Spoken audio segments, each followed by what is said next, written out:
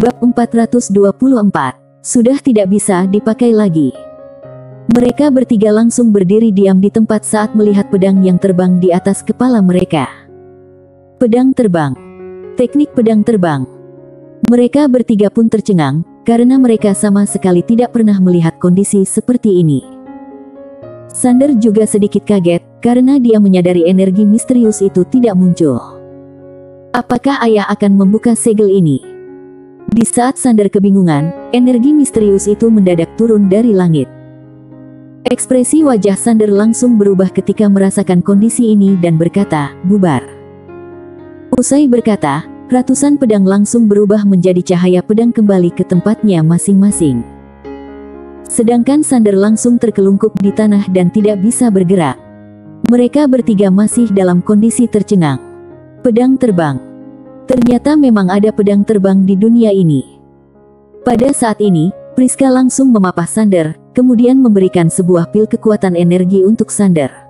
Muka Sander yang pucat barulah kembali normal. Sander tersenyum tipis. Memang hanya bisa berlagak sebentar saja. Priska berkata dengan nada simpati, kamu baik-baik saja. Sander menggelengkan kepalanya. Priska berkata, ada orang yang menekanmu. Sander menganggukkan kepalanya. Priska sedikit heran dan berkata, Tao langit, ya. Sander tersenyum tipis dan berkata, aku sih berharap adalah Tao Langit. Tao Langit di sini tidak mungkin bisa menekannya. Awalnya Priska masih ingin bertanya, tetapi melihat Sander masih begitu lemas, dia hanya bisa menahan hati penasarannya. Dia mengeluarkan sebuah pil kekuatan energi kepada Sander lagi. Ada energi spiritual yang masuk ke dalam tubuh, Sander barulah merasa membaik. Tidak lama kemudian, Sander pun duduk di tanah, dia merasa tidak enak terus baring di pelukan Priska. Sander menghirup napas dalam-dalam, lalu melihat mereka bertiga dan tersenyum berkata, apa kalian ingin seperti aku yang tadi itu? Mereka bertiga serentak menganggukkan kepala. Kultivator pedang. Ini barulah disebut kultivator pedang. Satu suara pedang, semua pedang langsung berkumpul, sungguh menakjubkan. Sander berkata, sekarang kalian sudah pernah melihat niat pedang.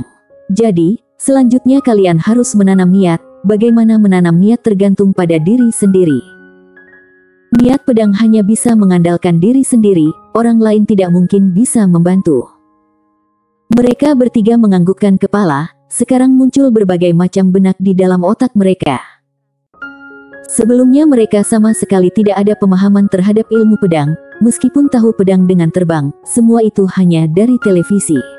Namun, pada saat melihat Sander menggunakan teknik pedang terbang langsung membuka wawasan mereka. Sudah meningkatkan wawasan mereka terhadap ilmu pedang. Sander tersenyum lalu berbalik badan pergi. Selanjutnya tergantung pada diri kalian sendiri. Setelah keluar dari Akademi Ilmu Pedang, kebetulan sudah siang, Sander pun berjalan ke ruang kelasnya Maya. Waktu makan siang. Pada saat ini, Sander mendadak menoleh ke arah kanan, dia melihat di sudut gedung ada dua pria yang sedang mengawasinya. Salah satunya adalah Alex Lee. Saat melihat Sander menoleh ke sana, Alex juga tidak takut untuk bertatapan mata dengannya. Sander tersenyum lalu lanjut berjalan. Pria yang berdiri di samping Alex pun berkata, Kak Alex, berani sekali dia mengabaikanmu. Tatapan mata Alex sangat tajam dan tidak berbicara. Tatapan mata pria itu juga muncul kelicikan, apa perlu aku mencari orang untuk membunuhnya? Alex menggelengkan kepala dan berkata, aku baru mendapatkan informasi, orang ini adalah guru akademi, lalu keluarga Suanyuan yang merekomendasi. Keluarga Suanyuan. Pria itu sedikit kaget saat mendengar perkataan Alex, dia berhubungan dengan keluarga Suanyuan. Alex menganggukkan kepalanya, Lia. Pria itu berkata dengan tegas, wajar saja dia begitu percaya diri, ternyata memiliki hubungan dengan keluarga Suanyuan. Keluarga Suanyuan. Keluarga besar di kota Yanjing. Di saat Alex ingin berbicara, tiba-tiba muncul seorang pria paruh baya di depan Alex. Melihat orang yang muncul ini, Alex tercengang dan berkata, Ayah. Orang yang datang adalah salah satu anggota tim tetua Akademi Bima Sakti, Fox Lee. Pria yang di samping Alex langsung memberi salam, tetua Fox. Fox melihat pria itu dan berkata, kamu murid Akademi Budo. Pria itu langsung menjawab, Lia. Tatapan mata Fox sangat tajam dan berkata, mulai dari hari, kamu dikeluarkan dari akademi. Pria itu tercengang. Alex juga tidak percaya. Fox melambaikan tangan dan berkata, pergi dari sini. Pria itu langsung duduk lemas di lantai, dan berkata dengan nada gemetar, Tetua, apa, apa salahku? Fox menatap pria itu dan berkata, mencari cara mencelakai guru Akademi Bima Sakti, apa kamu merasa kesalahan ini tidak parah? Pria itu tercengang, kemudian dia memandang ke arah Alex. Di saat Alex ingin berbicara, Fox mendadak memandang ke arahnya dan berkata, ikut aku. Usai berkata, dia langsung jalan menjauh. Alex sedikit bimbang, tetapi memilih ikut di belakang Fox. Pria yang duduk lemas di lantai pun kehilangan semangat hidup. Dikeluarkan.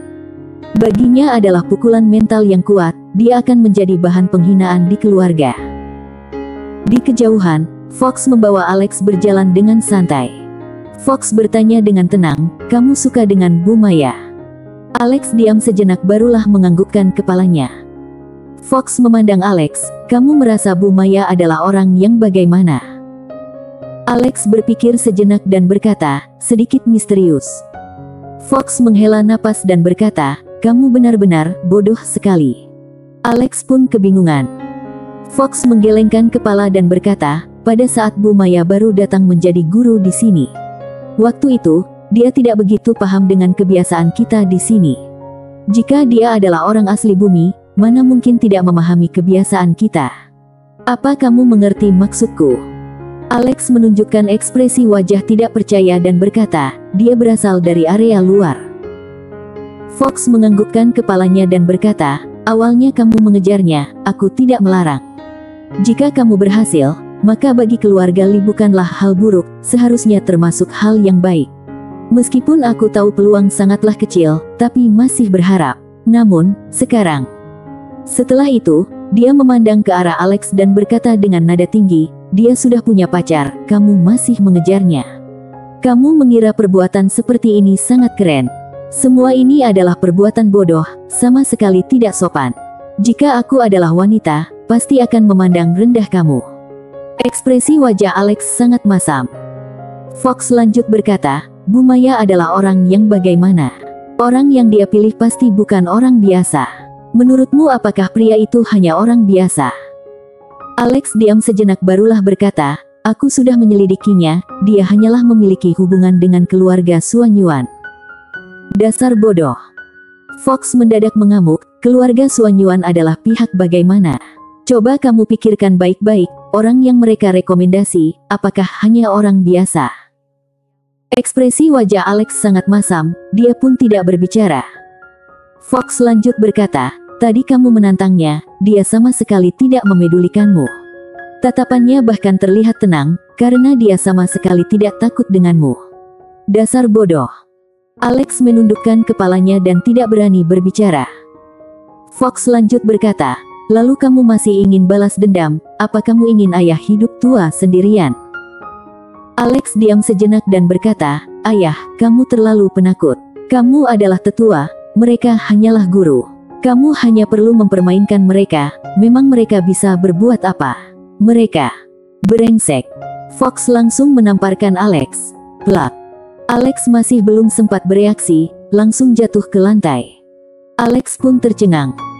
Fox menatap Alex dan berkata, kamu lebih bodoh dari yang kubayangkan. Aku begitu pintar, kenapa punya anak sebodoh kamu? Aku bahkan mencurigai apakah kamu anak tetangga. Alex pun terdiam. Fox menunjuk Alex dengan jari dan memarahinya, aku sudah menjelaskan panjang lebar padamu, kamu mais tidak paham. Sudahlah, aku malas banyak basa-basi denganmu. Kemari.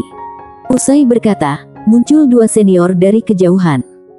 Fox memandang Alex dengan tatapan tajam dan berkata, bahwa dia kembali ke keluarga Lee. Tanpa perintahku, dia tidak boleh keluar. Jika dia diam-diam keluar, maka patahkan saja kedua kakinya. Mendengar perkataan Fox, ekspresi wajah Alex langsung pucat, ayah, aku masih mau ke sekolah, aku masih mau. Fox melambaikan tangannya, bawa pergi. Dua senior itu langsung menyerat Alex. Fox pun menghela napas. Sebenarnya dia juga bukan orang baik. Jika Maya adalah orang biasa, dia akan menggunakan sedikit trik untuk mengabulkan impian anaknya ini. Tetapi, wanita ini bukan orang biasa. Lalu, pria itu juga pasti bukan orang biasa, kalau tidak mana mungkin keluarga Suan Yuan akan berdiri di pihaknya. Fox sudah menduduk posisi sekarang ini maka harus pandai membaca kondisi, jangan sampai menyinggung orang yang tidak seharusnya disinggung. Kalau tidak, kapan mati pun tidak akan tahu. Dia paham, sayangnya anaknya sama sekali tidak paham. Fox menghela napas, sekarang dia sedikit menyesal karena sudah terlalu memanjakan anaknya ini. Kali ini kalau bukan dia lebih berhati-hati datang melihat, jika sampai anaknya yang bodoh ini mencari masalah dengan pria itu, maka kemungkinan akan membawakan bencana besar baginya. Beberapa saat kemudian, Fox berbalik badan dan pergi. Dia sudah memutuskan untuk membuat anak lagi. Anak yang sudah besar tidak bisa digunakan, maka hanya bisa membuat anak baru. Sander berjalan ke arah ruang kelasnya Maya, sedangkan masalah Alex, dia sama sekali tidak memikirkannya. Dia hanya tertarik dengan sosok yang lebih tinggi. Jangan datang mencari masalah dengannya, jika mencari masalah, maka siap-siap mati saja. Tidak lama kemudian, Sander tiba di depan ruang kelasnya Maya. Maya masih mengajar, dia sedang menjelaskan teknik Budo. Tentu saja hanya dasar-dasar teknik Budo, lagi pula terlalu dalam, para murid juga tidak mengerti. Melihat Sander datang, sekelompok murid serentak menoleh ke arahnya, tatapan mata sangat penasaran. Maya melihat Sander sekilas, lalu tersenyum. Kemudian barulah memandang ke arah murid dan berkata, sampai di sini. Semua murid pun terdiam. Maya berjalan ke depan Sander. Sander tersenyum berkata, ayo pergi makan. Maya menganggukkan kepalanya. Sander menarik tangannya Maya lalu berbalik badan pergi. Semua murid yang berada di kelas saling memandang dan mulai bergosip. Ada seorang murid laki-laki langsung berkata dengan nada sedih, dia tidak cocok dengan Bu Maya. Ada murid wanita yang tidak terima dan berkata, kenapa tidak cocok? Menurutku dia sangat tampan. Murid laki-laki berkata, memang tampan berguna. Tampan hanyalah penampilan luar, harus dalamnya juga indah. Murid wanita itu bertanya, Frey, kamu sudah sendirian berapa lama? 3. Ha, kenapa kamu tanya pertanyaan ini? Murid wanita itu berkata, tiga tahun. Apa kamu tahu kenapa kamu jomblo tiga tahun? Kamu bilang aku jelek. Kamu yang bilang sendiri. Frey pun terdiam. Bersambung.